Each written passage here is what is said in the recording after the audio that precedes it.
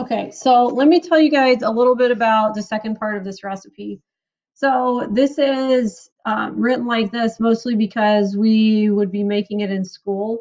So the first direction says to preheat the oven to 200 degrees Fahrenheit. That's because after we shape our danishes, we have to let them rise for a little bit. Um, and usually we don't have time to wait an hour after you guys shape your danishes um, before you can actually bake them. We just don't have time with, you know, the 70 minute classes. So if you are making this at home, you don't need to do that step unless you want to um, make them rise quicker. Um, you can just, you know, skip that step, let them, after you shape them and stuff, you can let them rise uh, for about an hour until they're doubled in size, and then you can con- continue on. So I'm going to show you guys how to um, how to portion the dough, how to roll it out, how to shape the danishes, and all the rest that's included in that. Okay, so I cut my dough into fourths and now I'm going to roll it into a rectangle. So you want it to be about 18 um, inches long and about four inches wide. And then you're going to take each um, rolled out strip and you're going to cut it into one inch strips. So I'll show you guys how to do that. So this dough is nice and cold, which is going to help to keep it from sticking to the counter. Um, but if you're having trouble with that, you can just throw some flour down.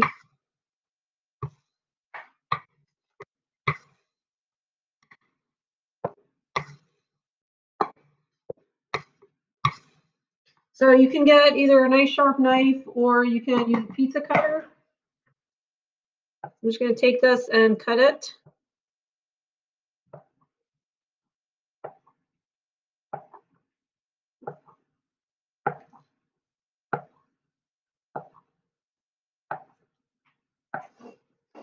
So each Danish is going to take two strips. So I'm going to take my two strips and I'm going to attach them together at the top. Kind of press them together. And then you are just going to kind of almost braid them together. Just like that. Uh, then you attach them together at the bottom and then you're going to take them and roll it together into a circle. And that's it. You could even take three and roll them together if you wanted to. So we'll try that next. And like I said, it's pretty sticky, so be careful.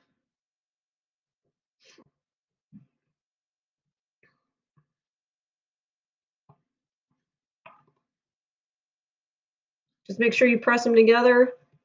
And then we are going to set them off to the side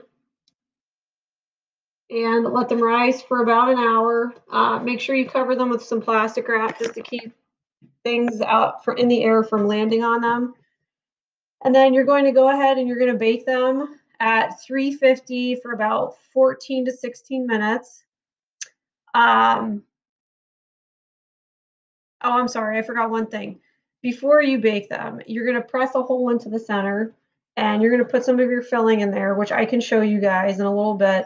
And then you're going to bake them, not for very long. And then you take them out and you put some icing on them and that's it. Okay, so um, I'm going to show you guys how to finish off your danishes before you put them in the oven. Um, I actually did the trick where you turn the oven on at 200 and then turn it off and then put the danishes in so they can rise quickly. So this is what they look like now. They've risen quite a bit. They're pretty fat. Um, so what I'm going to do is I am going, you can either use two fingers or you can use like the back of a spoon or something. I'm just going to make an indentation right in the middle where I can fill it with my filling. So I've chosen to use um, apple pie filling and I didn't actually didn't have any at home, so I just made some. But if you want to go buy the filling, it's in um, the baking aisle, like where they sell the flour and the sugar and everything in the grocery store. Usually it's somewhere near the jello or the pudding, stuff like that. And it comes in a can and it will say that it's pie filling. And they sell different kinds, like um, there's apple, cherry, blueberry, um, strawberry, peach. There's all kinds of stuff. So you can just pick whatever looks good to you. Another thing that people fill danishes with is a cream cheese filling. And if you just type in like cream cheese Danish filling in Google, you'll find a recipe for it. It's just cream cheese and sugar and stuff, okay?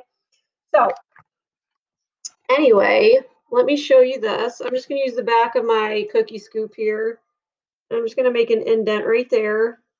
These don't take a ton of filling. Um, and you guys can kind of see like the air go out of it when I do that. So some of them are bigger than the other ones. So those would take more filling.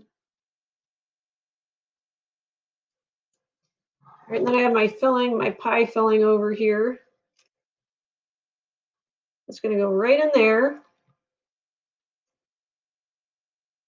Um, and then when these, when I'm done filling them, they're going to go into the oven for at 350 for about 14 to 16 minutes until they start to get golden brown and you can tell that they're um, kind of done cooking. So you'll be able to see they don't take long because they're not very big. And then there's a um, there's an icing that you're going to put over top of them, and that's included in the recipe. It's really simple to make. It's just some butter, some powdered sugar, some vanilla, and a little bit of half and half, or you could even use milk if you don't have half and half. So some people end up getting their um, danishes end up coming apart, like the dough comes apart in the middle. So if that happens, you would kind of just work it back together with your fingers. You don't want to have a hole where you put the filling because then it will just come out of the bottom when you pick it up. So these you can see they're still, it's still all together. There is no opening in there. Okay, so that is how you make danishes. Um, there are other recipes, like I said, that take longer, but this is a quick one. So um, again, if you guys have questions, just email me or um, we can get together when school starts back up in person and I will answer any questions that you guys have. Okay, good luck.